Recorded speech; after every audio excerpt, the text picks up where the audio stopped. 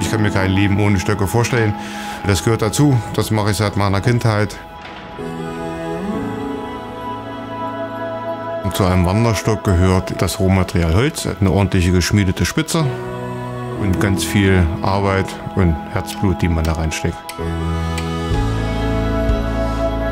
Diese Manufaktur in dieser Form gibt es seit 2009, betreibe ich die in unserer Familie seit fünfter Generation. Mein Sohn zeigt großes Interesse und es würde mich freuen, wenn er dieses Handwerk bewahrt und auch weiterführt.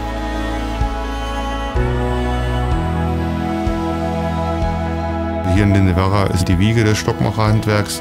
Mein Opa hat bis ins hohe Alter als Stockmacher gearbeitet. Mein Vater arbeitet heute noch. Und ich versuche auch auf jeden Fall so lange zu arbeiten, um dieses Handwerk eben weiterzuführen und meinem Sohn vielleicht den Weg zu bereiten, um da später mal einzusteigen. Wir stellen unsere Stöcke aus Kastanie her. Das ist ein sehr leichtes Holz.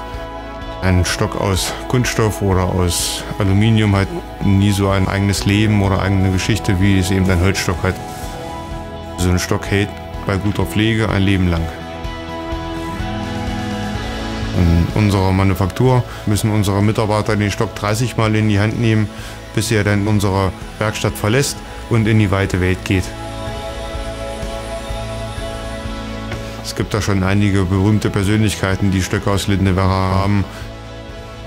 Dr. Haus hat einen Stock aus Lindewerra.